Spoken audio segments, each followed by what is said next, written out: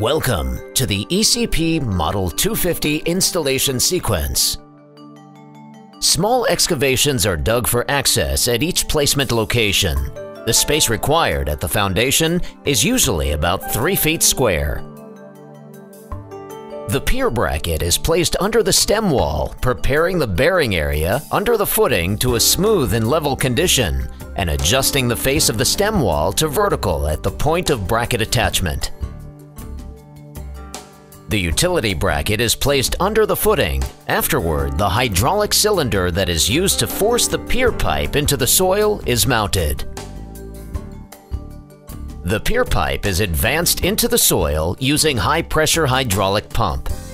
Pier installation continues until rock or suitable bearing is encountered below the unstable soil near the surface. Every pier is load tested by increasing the force on the pier to ensure the rock or other firm bearing is proven substantial enough to withstand a load greater than needed to restore the structure. Once all piers have been installed, load tested, and the installation data at each placement recorded, lifting head assemblies and hydraulic lifting rams are placed on the piers. The rams are connected to one or more manifolds and hydraulic pumps.